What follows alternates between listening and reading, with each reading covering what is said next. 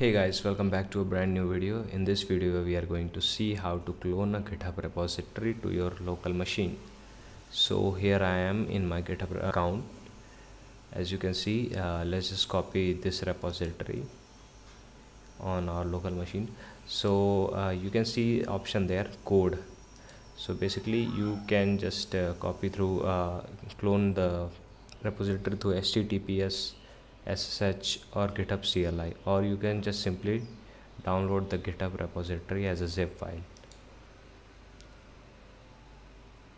So it's downloaded and uh, since we are uh, Sigma programmers and uh, we don't like GUI so let's just uh, go to our command line and uh, copy this repository so uh, as you can see the code here so we click it again and you can see here uh, this option it will copy the github repository uh, url so let's just copy that.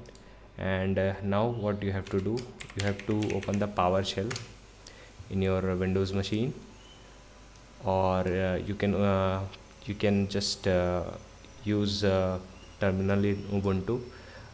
Both both will be same. So we have to write one command git clone okay uh, let's just go to our uh, first desktop.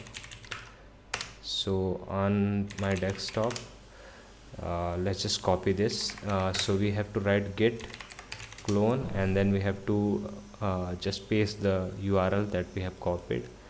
So in this case it's a url is here and let's just hit enter. And now we can see that our repository has been cloned so let's just go to our desktop and see the repository ourselves. And uh, as we can see the repository is here and it contains the readme file. Now you know that how to clone a github repository to your local machine. And if this video helped you you can give it a thumbs up and subscribe